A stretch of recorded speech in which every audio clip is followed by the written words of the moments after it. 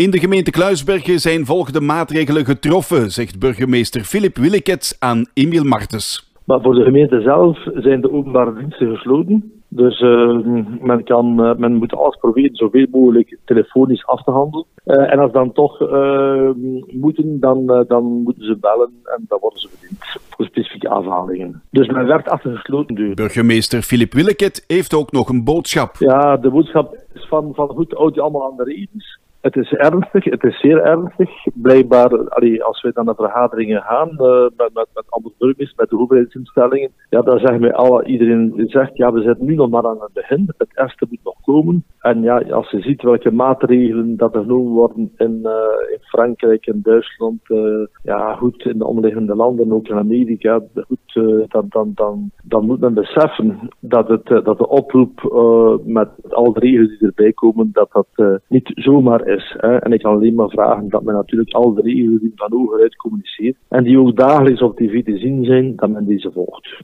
En dat men zeker vast zorgt dat men, uh, men, men zoveel mogelijk thuis blijft en uh, dat allemaal komt dat er geen uh, zo weinig mogelijk kans is dat het virus zich zou verspreiden. Ik denk dat we daar moeten echt solidair zijn met alle andere mensen.